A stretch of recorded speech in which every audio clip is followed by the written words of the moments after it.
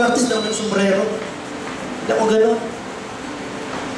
Kay practice, kay hindi practice, nasa presensya ako ng Panginoon. Hindi ako dapat nagsusombrero. At pag ako nag-gitara, kay practice, kay hindi practice, talagang yung gitara, ginagano ko talaga yan. Sumasayaw talaga ako para sa Panginoon.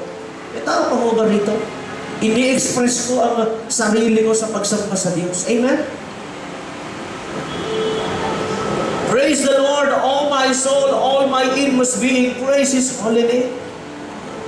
At anong sabi ng verse 2? Praise the Lord, all my soul, and forget not all His benefits. And forget not all His benefits. Huwag mong kalilimutan yung mga magagandang ginawa sa iyo ng Diyos.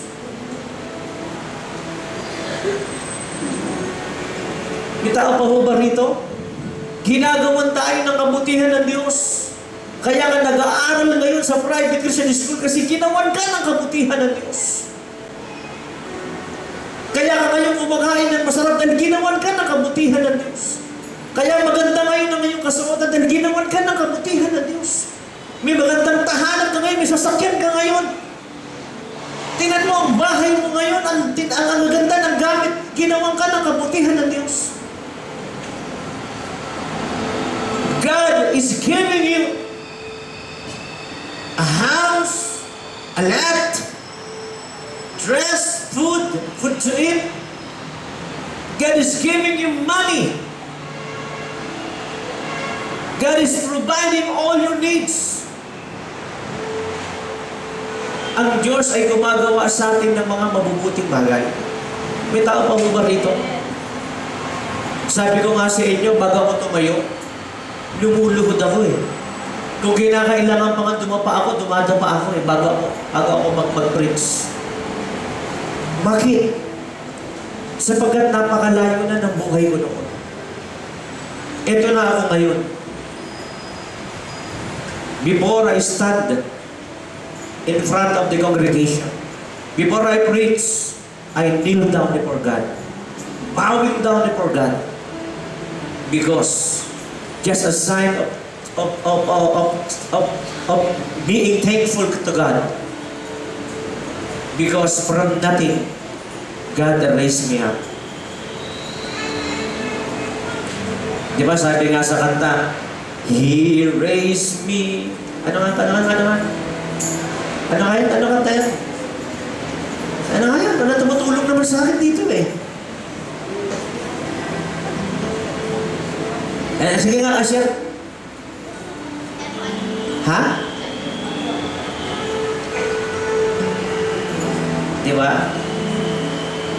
Tinaas ako ng Diyos. God raised me up.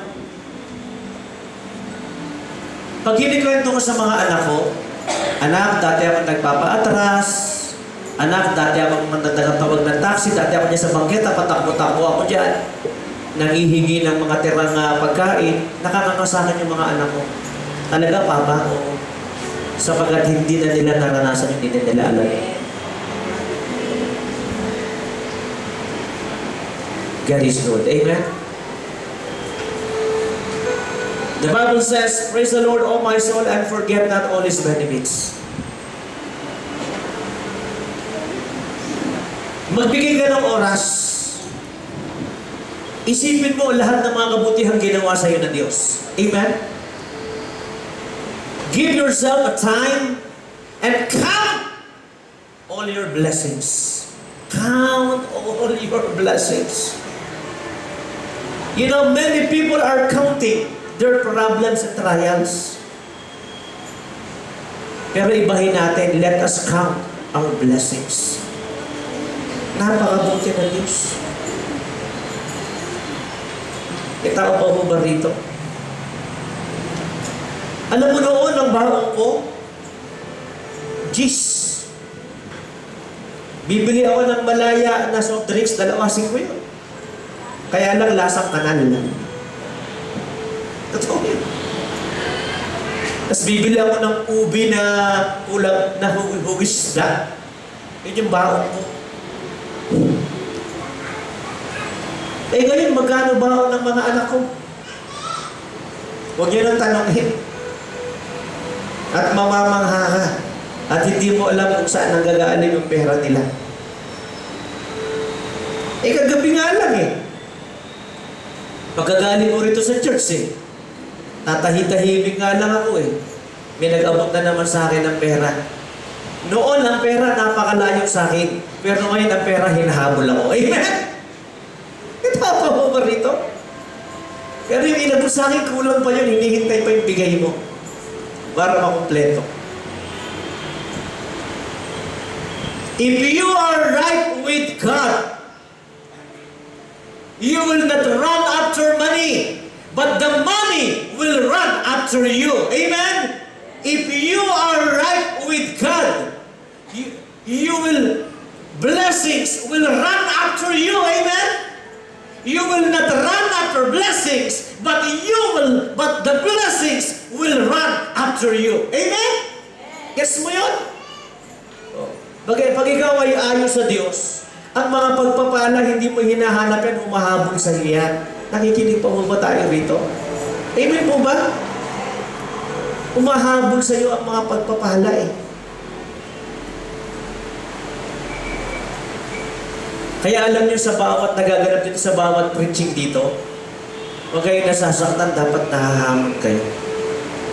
Yes. Al ako, ako kung pinairal ko lang yung sakit na nararamdaman ko, wala mangyayari. Kinakailangan lagi mong hamunin ang sarili mo eh. Amen, may tao mo ba rito? No? You must challenge yourself. Any problems, any trials that you encounter, don't give up. But challenge yourself and overcome all these trials and problems through the help of God. Amen. Palakpakan natin ang Panginoon. Praise the Lord, all my soul, and all that is within me. And praise His holy name. Praise the Lord, all my soul, and forget not all His benefits. Bilangin mo, ano na yung mga pagpapaalam mo? Ngayon, pag nakita mo ng mga tao, ngayon, dito ang suot ko, naka-Amerikana ako. Ikaw ba si Ricky nung unang panahon? Ako nga po yun. Eh bakit naka-Amerikana ka na ngayon? Mabuti kasi ang Diyos. Are you Ricky? Yes. Why are you wearing Americana now? Why are you why, why are you wearing coat and tie, tie now? And I will answer because God is good. I said, God is good. Ang sabi ko po, mabuti ang Diyos. I said, God is good. God is good. God is good. And forget not all His benefits. Huwag mong kalimutan lahat ng kabutihan niya.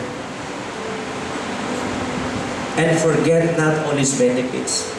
Ate Juliet, napakabuti po ng Diyos. Napakarami na po na pong trabaho, napakarami po na pong ginagawa. Minsan gusto ko kayong puntahan, bisitahin, asikasuhin, hindi ko na po magawa. Huwag po kayo magtatampo sa akin. Sapagkat hindi ko na po talaga kaya kasi napakarami ko ng ginagawa. Pero yung pagmamahal ko po sa inyo, hindi nawawala. Lagi po kayo nasa puso ko at panalangin. At ang hiling ko po sa inyo, huwag niyo na po ako hintahin. Ikrusada niyo na ang kamarin. Iligtas niyo na po sila.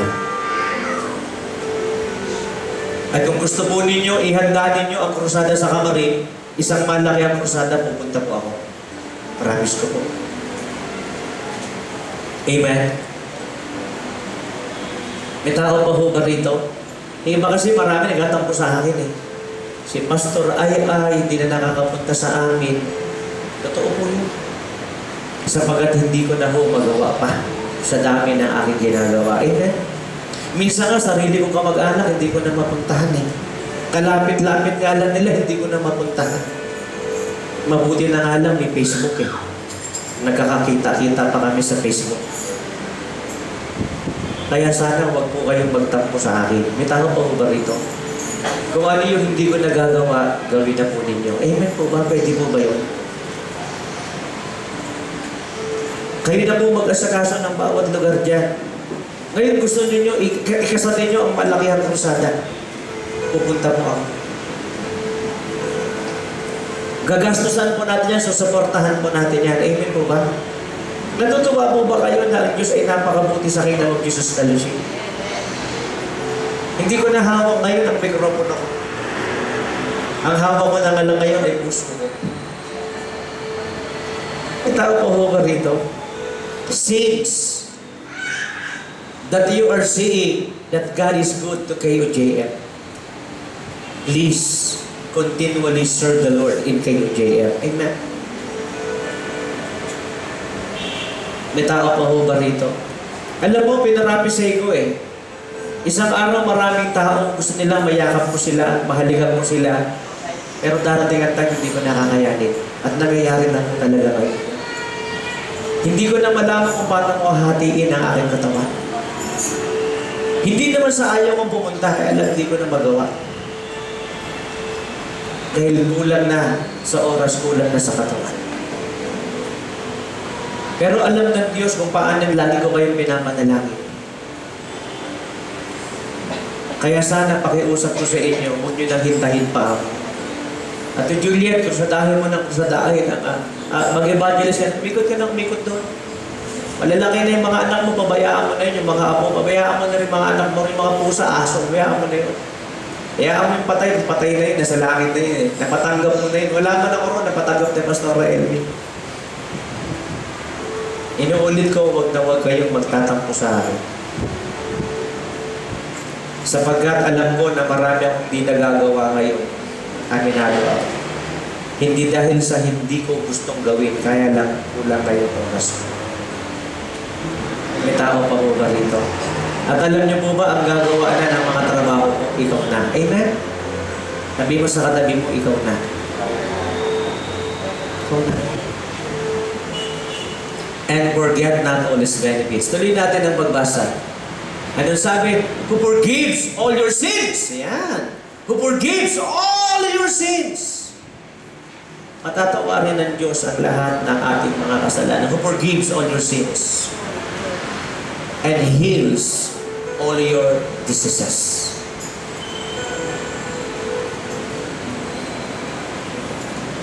Hindi nais ng Diyos na tayo ay may religion, magpalit ng religion, magkaroon pa ng bagong religion. Hindi. Ang nais ng Diyos, bagong buhay.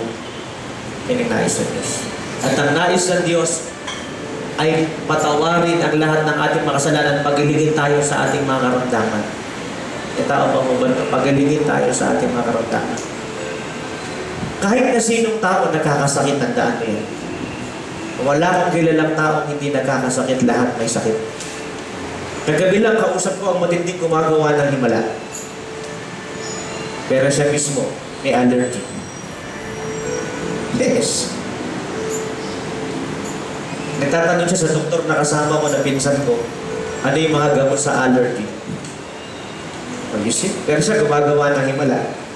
Pero sa kasabay ng pagpapagawa niya ng himala at siya nagpapagaling sa iba, pinapagaling din ng Diyos ang kanyang sariling karamdaman. Ganun po yun eh. Kaya tandaan natin ang Diyos po ay nagpapagaling. Amen? Nagpapagaling. Who forgives all your sins and heals all your diseases. Next, verse 4. Who redeems your life from the pit and crowns you with love and compassion. Di ba? Anong sabi ng Biblia? Lahat tayo ay mga sumasambahin sa, sa hindi tunay ng Diyos. Yung mga kamag-anak namin sa akla. Yeah. Sayaw sila na sayaw ngayon kay Santo Niño. Kalibo ati-atihan. Viva Santo Niño. Nakakaawa na sa Facebook mga kamag-anakan namin sa akla. No? Sa Father's Aid ko, maraming taga-akla. Maraming karilyo. Sa sa sa asawa ko at mga maraming taga-akla. Hindi sila ngayon, nagkakalibo at atihan sila ngayon to. Sumasamba sa mga Diyos-Diyosan, di naman tunay na Diyos, kasalanan yun. Pangalawa, punong-puno ng bisyo at kasalanan, redeems your life from the pit. Pakisabi pit. Ano yung sa Tagalog yung pit? Kukay. Who redeems your life from the pit and crowns you with love and compassion. Praise the Lord, all my soul, and all that is within me, and praise His holy name. who forgives all your sins and heals all your diseases and crowns you with love and compassion.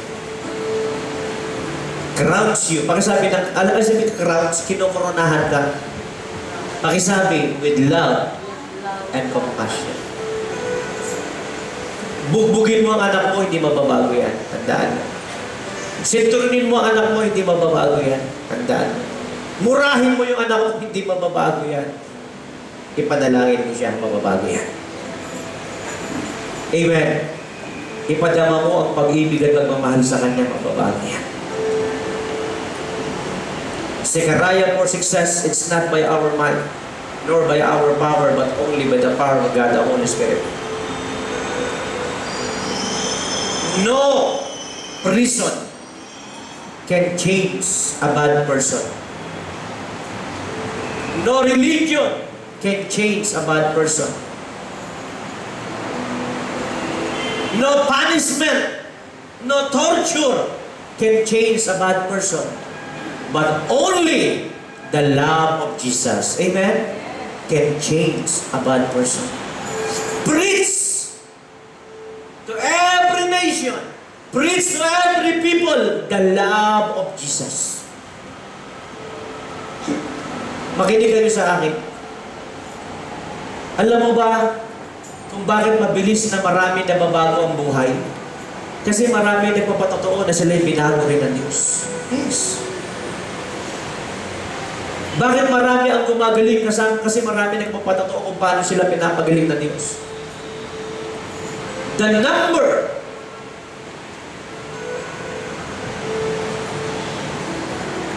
Nakikinig pa mo ba kayo?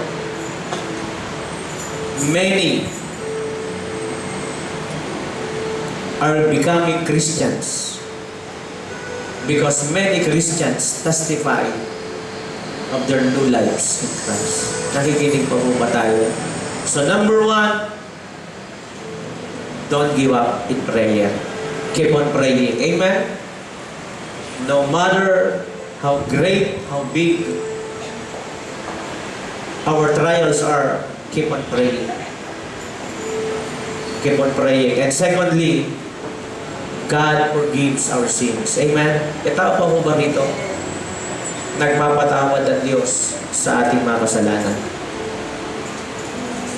Kaya, how can we change this world? The Bible says, who redeems your life from the pit and crowns you with love and compassion. Preach to every person that God is a compassionate God. Preach to every person that God is a loving God. Nakikinig pa mo ba tayo? Sabihin nyo sa lahat ng tao, nagpapatawad ang Diyos. Sabihin nyo sa lahat ng tao, mahabagin ang Diyos. Sabihin nyo sa lahat ng tao na ang Diyos ay mabuti. Sabihin nyo sa lahat ng tao na ang Diyos ay sumasagot sa panalangin. Nakikinig pa mo ba tayo? Sabihin nyo sa lahat ng tao, may tao pa ba rito? Na ang Diyos, yung ating mga ginagawa para sa Kanya, hindi nawawala ng kamuluhan. So ano ang lesson natin natutunan sa oras na ito? Number one, huwag tumigil ng pananalangin. Kung hindi ka nananalangin, manalangin ka, at kung tumigil ka na, huwag ka tumigil. Praying. Alam mo, may mga tayong madaling araw na umakatulog. So ang gagawin ko, mananalangin ako. At nakikita ko naman yung sagot sa aking mga panalangin. Many times, I, can, I can't sleep. What I'm doing is praying. Because truly, God answers prayers. And number two, God is a forgiving God. If you think you are living in sin, if you think you have so many vices, if you think that you are breaking the heart of God, what you are going to do is just God's, ask God's forgiveness. Nakikinig pa ba tayo? Humingi lang tayo ng tawad sa Diyos. May tao pa mo ba rito? Shall we stand, shall we stand our feet? Please tayo lahat tayo tumayo. Shall we stand? While we are standing, if you have, if you know that you are living in vices, because if you if you know that you are living in sins, just ask God's forgiveness. Kung alam mo na bubuhay ka sa bisyo kasalanan, humingi ka lang ng tawad sa Panginoon. At kung iniisip mo na ang Diyos ay hindi sumasagot sa panalangin, huwag. And if you think that the Lord does not answer prayer, God answers prayers. At kung ngayon, kinatok ng Diyos ang puso mo, at sinasabi sa iyo, anak, bumalik ka na sa paglilingkod. Bumalik ka na sa pag-full time. Ibigay mo na ang buong buhay mo sa Kanya. O mo na muli ang buong buhay mo sa Kanya. Huwag mo siyang bigoin. Habang tayong lahat ay nakayong at nakapigit, gusto mo na bang magsisi ng kasalanan? Gusto mo na bang magbagong buhay? Gusto mo na bang magbalik loob sa Panginoon? Gawin mo na ngayon. I know that the Lord is knocking at the door of your heart. Asking you to repent from your sins. Asking you to give your whole life to Jesus. Asking you to surrender your life to the Lord. Asking you to serve the Lord now wholeheartedly. No reservation, no excuses, no alibi. Come on, it. Gawin mo ito. At kung meron kang sakit karamdaman, nagpapagaling ang Diyos. Kung meron kang mga panalangin, sumasagot ang Diyos. If you are in need, truly God answers prayers. If you are in sicknesses and diseases, God truly heal all our sicknesses and diseases. And I believe with all of my heart, tayong lahat na narito at nakikinig, all of us, we are here, and those who are watching and listening out there in different parts of the nations of the world, I know and I believe this is the time that we will repent from all of our sins and iniquities. We will return to the Lord. And we will serve the Lord now, wholeheartedly. We will give now our lives to Jesus. We will offer now our talents and gifts to the Lord. Ito na ngayon ang oras, ibibigay na natin ang buhay natin sa Panginoon. Hayaan lamang po natin ang keyboard ang, mag, ang, ang, ang manatili na tumutugtog. Just bow down your heads and close your eyes. Nakikita mo, may mga umiiyak na kanina pa sa preaching pa lang. Ituloy mo. Even in, in, in, in the preaching time, I see brothers and sisters crying. So continue. Go on, continue. Hallelujah. Sige po. Urakyanda la masirmiyanda. Urabayanda la masirmiyanda riante. Alam mo ngayon, binabagbag na ng Diyos ang puso mo. Gusto mo nang magsisig, gusto mo nang magbago, gusto mo nang mag magbalik loob sa Panginoon. Gusto mo nang mag full time, gusto, gusto mo na, gusto mo na talaga. Huwag mo nang mapigilan.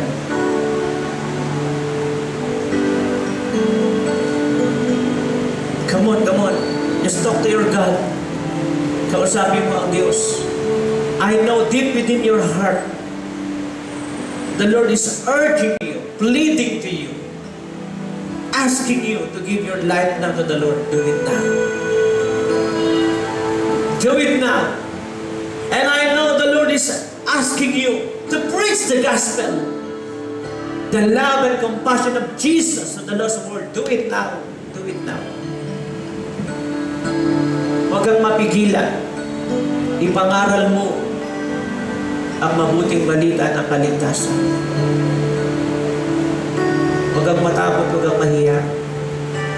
Alam mo, minsan may mga taong pinipigilan, Uy, huwag mo nang sabihin yung nakalipas mo, nakakahiya, dinaanan mo yung palaya, nakakahiya. Hindi, hindi nakakahiya, mabuting bagay yan. sapagat nakita nila kung paano nalugdulog mo ka na tinayo ka ng Diyos. Don't be afraid. Don't be shy to preach, to testify your old life. Tell to the world, tell to the world how the Lord pick you up and crown you with love and compassion. Alam mo, pinayaman tayo ng Diyos. Pinasagana tayo ng Diyos. Pero hindi yan ang pinakamahalaga sa lahat. Ang pinakamahalaga sa lahat, binago tayo ng Diyos at pinatawad tayo ng Diyos. Truly, God makes you rich. Truly, God makes you wealthy. But it is not an important thing. The important thing is God forgive all your sicknesses, all your sins. God forgives all your sins. That is the most important thing. You can testify about the blessings of God, how the Lord bless you. But the most important thing is to testify how the Lord changed your life. Pwede mong ipangaral sa marami kung paano ka pinasagana ng Diyos. Pero ang pinakamaganda sa lahat, paano ka binago ng Diyos. Habang tayong lahat ay nakayong at nakapikit, walang gagalaw, wala muna magsisiar, walang kilos ng kilos. Wala muna, saglit na lang ito. Isang tanong lang, gusto mo na ba magbagong buhay? Gusto mo na bang tumalikod sa bisot kasalanan? Gusto mo bang magkaroon ng katiyakan at pagkatapos ng buhay mo sa mundong ibabaw ito'y papasok ka ng langit? Isang katanungan ulit, gusto mo na ba ipaglingkod ngayon ang buhay mo sa Panginoon? At ipagkatiwala ang buhay mo sa Kanya?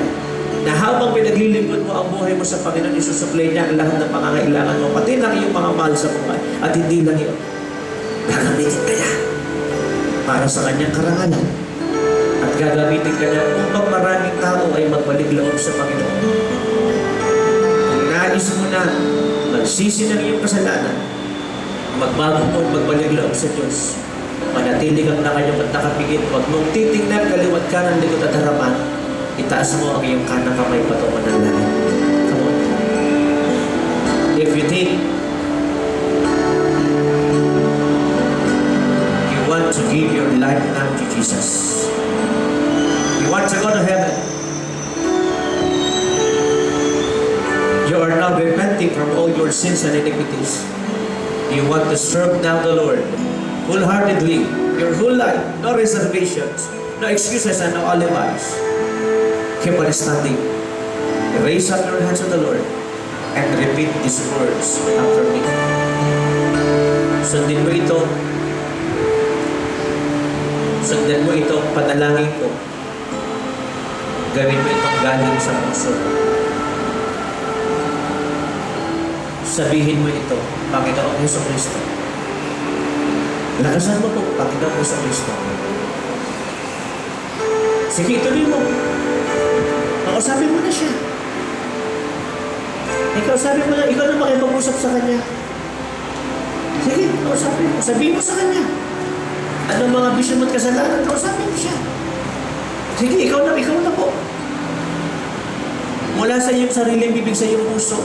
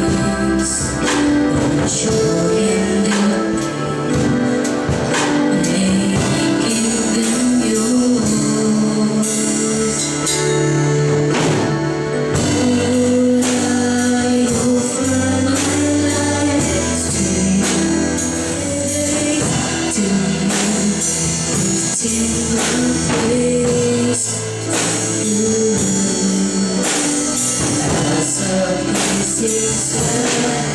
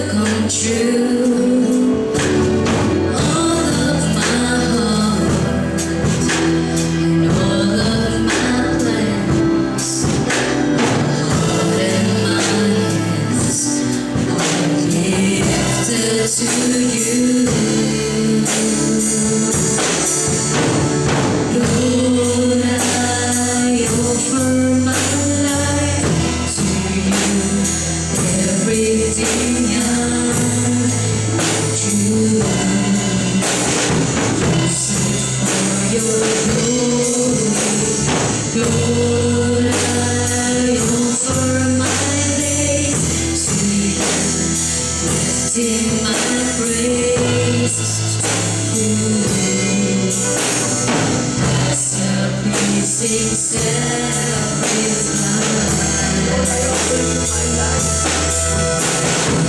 I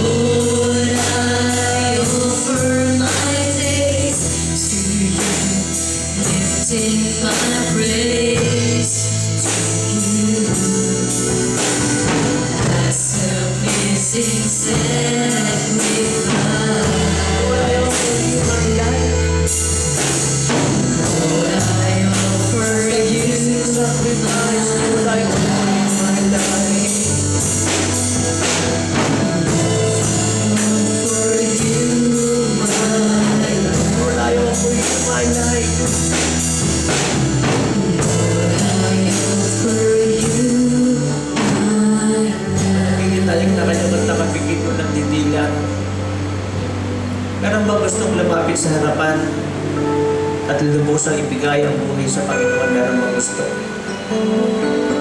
Meron bang lumapit na sa harapan pero muling gustong lumapit sa harapan? Para ibigay ng totohanan ng buhay sa Panginoon. Come on. Lapit po. Sige po. Huwag mo nang bigilan. At kung nararamdaman mo, tinatawag ka ng Diyos para ipangaral ang ulap ka. Lapit na mo sa harapan.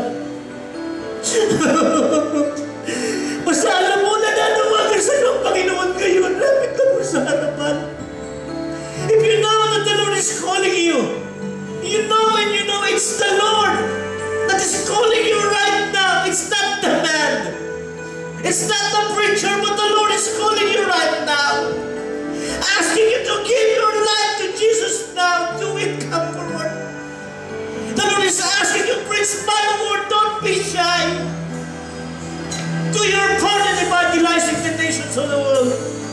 Offer your life, offer your talent to God. Lalo na kayo, alam na alam ninyo, maliliit pa kayo sa ating ating Asher. Pa lang ako. Pero alam niyo, may tawag kayo sa Panginoon. Gusto niyo bang ibigay ang buhay niyo ngayon sa Panginoon? Sige po, naghihintay ang Diyos sa harapan. Sabi ko, naghihintay ang Diyos.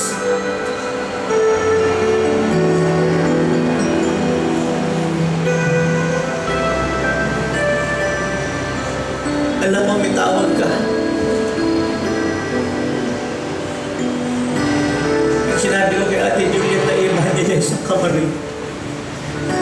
Para sa puso. Sabagat di ko na kaya puntahan ang puntahan ng lahat ng lugar.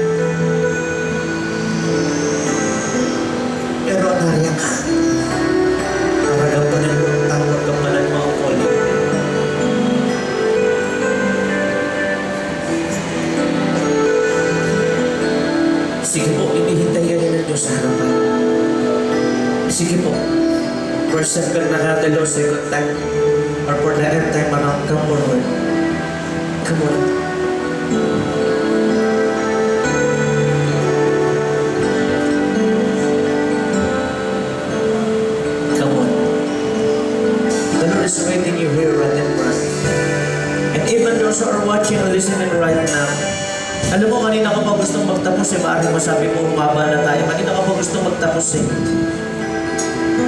Pero wala akong magawa eh. Mas mahalaga ito na pumasok ka ng langit bago ka mamatay. Mas mahalaga ito na maranasan mo ang pagbabagong buhay. Ito ang dahilan kung bakit kami pinasagana ng Diyos at pinaunlad ng Diyos ang aming buhay dahil sa ginawang pagbabago ng Diyos. Kapag naranasan mo ang pagbabagong buhay ng Diyos, ang pagyaman at pag-unlad ay kasunod na siya. If you will experience new life in Christ, then the Lord will make you, will give you prosperous life.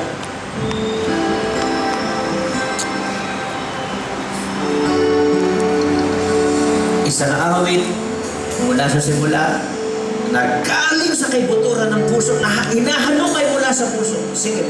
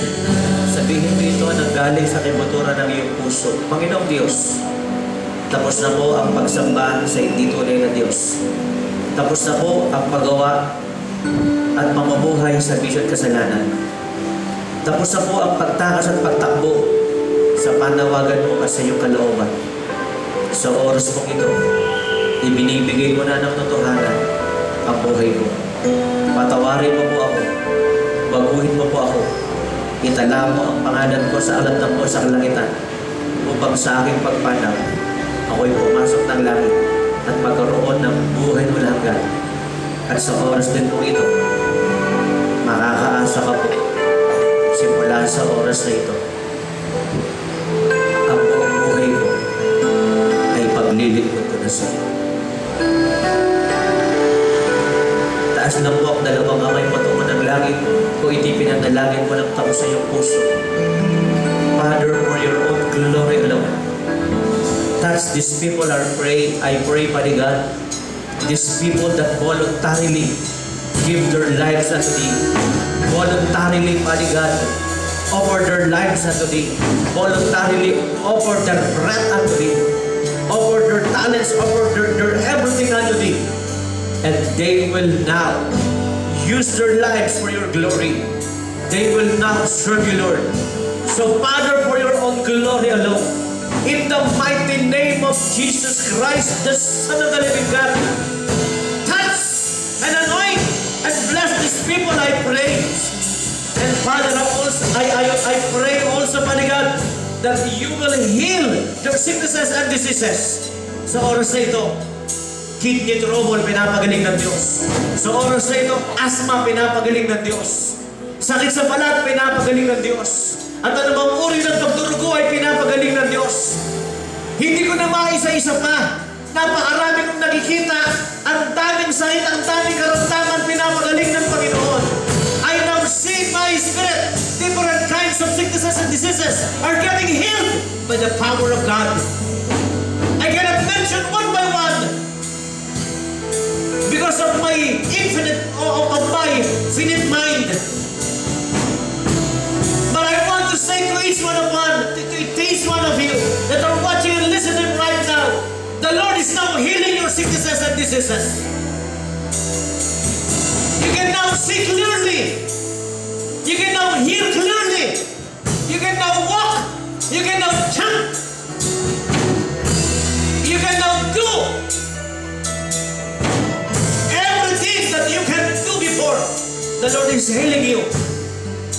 Sa pinapagaling ka ng Diyos sa oras na ito. At sa oras na ito, pinapatawad ng Lord ang iyong vision kasalanan. The Lord is now forgiving your sin. For, the Lord forgives now is now forgiving your sins and iniquities. And I just want to say to you,